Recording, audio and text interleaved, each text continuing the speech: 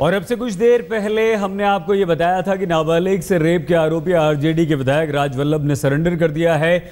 और सरेंडर जब राजवल्लभ कर रहे थे, उसी वक्त हमारे संवाददाता रोहित सिंह ने उनसे बात की है। उनका कहना है कि वह इस मामले में अदालत से भाग नहीं रहे थे।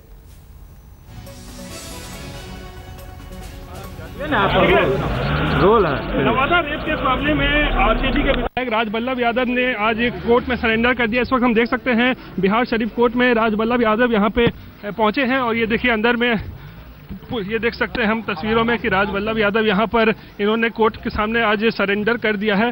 बात करते हैं इनसे। राज बल्लभ जी क्या आप दोषी हैं? हमारे वकील क्या आप दोषी हैं राज बल्लभ जी? राज जी क्या दोषी हैं? मामला न्यायालय में है और न्याय के मंदिर पर हम लोग को पूरा विश्वास है इसलिए हमने सरेंडर किया है। क्या आपने सरेंडर कर दिया है? हाँ सरेंडर किया है। जो बोलते हैं क्यों आप कहाँ इतने देर एक महीने से कहाँ चल रहे थे राज बल्लभ जी? हाईकोर्ट में इनका नाम हम लोगों का इंटरसेप्टिंग बेल लगा हुआ था।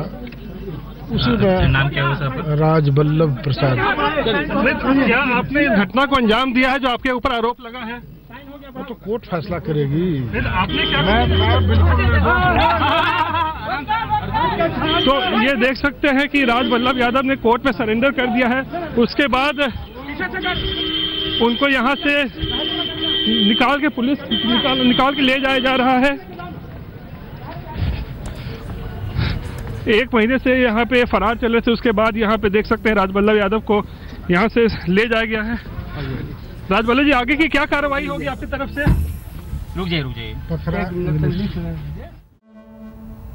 और अब अगली खबर का रुख करेंगे। बीजेपी सांसद योगी आदित्यनाथ ने पीएम मोदी के मुरीद अनुपम खेर पर करारा वार किया है। योगी आदित्यनाथ ने कहा कि अनुपम खेर रियल लाइफ में विलन है।